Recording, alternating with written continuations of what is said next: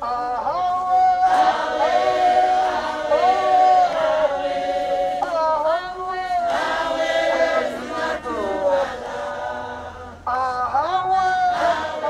disgruntled employees accused the City Council of violating the Labour Act, saying that waste management is an invaluable public health service, but the council continues to pay them peanuts and still on contract.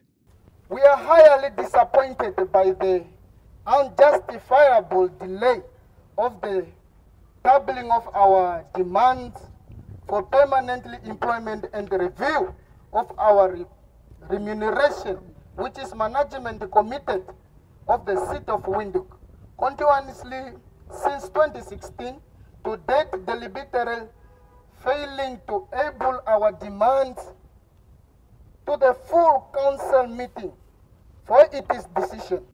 The group further accused the management and council of deliberately delaying their overdue request of permanent employment, instead to outsource services to benefit some of them. Down corruption, down!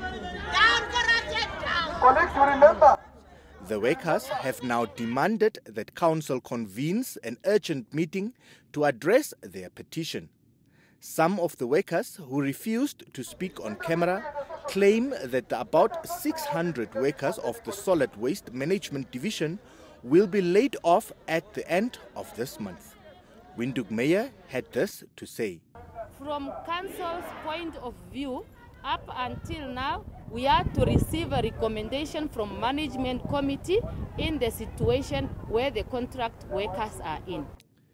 Upon receiving the petition, Francina Kahungu informed the disgruntled workers that their plight is genuine and promised to forward the petition to the Council's Management Committee. Chairperson of the Management Committee, Moses Shiikwa, could however not give details of the recommendations and could also not say when such recommendations would be ready. Emil Sebeb, NBC News, Windhoek.